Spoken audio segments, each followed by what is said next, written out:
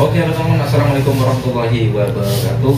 Kembali lagi bersama saya Imam di channel Kaki Vlog 7 Nah salam sehat bagi kita semua ya. Semoga teman semuanya selalu diberikan kesehatan Kelancaran rezeki dimudahkan segala urusannya gitu. Amin amin ya rabbal alamin.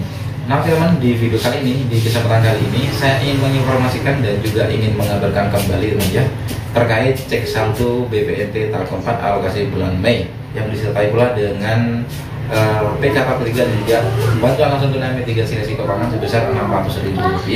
Tepatnya pada sore hari ini di hari Selasa tanggal 14 Mei tahun 2024. Siapa tahu teman ada saldo yang masuk. Amin.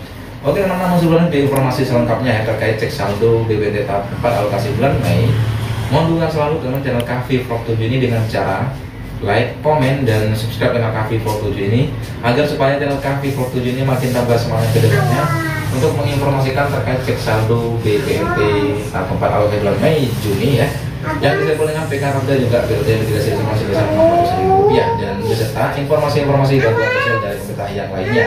Nah, jika dirasa video ini bermanfaat, share juga ya teman link video ini ke semua media sosial yang memiliki.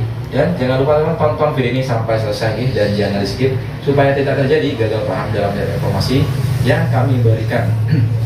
Nah teman langsung saja kita masukkan kartu keras merah putihnya ya. Oke. Kita lanjut pilih yang bahasa Indonesia.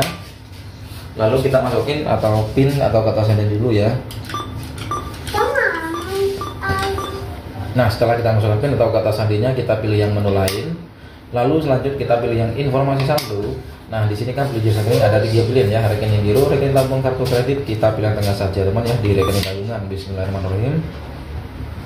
Nah teman jadi inilah ya hasil dari cek saldo BPT tahap 4 alokasi bulan Mei yang disertai pula dengan TKP dan juga bantuan langsung tunai mitigasi risiko pangan sebesar 600 ribu rupiah. Tepatnya pada sore hari ini di hari Selasa tanggal 14 Mei tahun 2024 di mesin ATM BNI yang berada di kawasan Pabrik Gula Senggoro Jember Jawa Timur. Untuk hasil saldonya sendiri masih belum ada yang masuk. Nah teman terima kasih banyak sudah mengikuti channel Kafi Vlog 7 ini ya. Semoga bermanfaat informasi kali ini ya. Semoga nanti malam ada saldo yang masuk. Amin. Oke teman saya ini wassalamualaikum warahmatullahi wabarakatuh.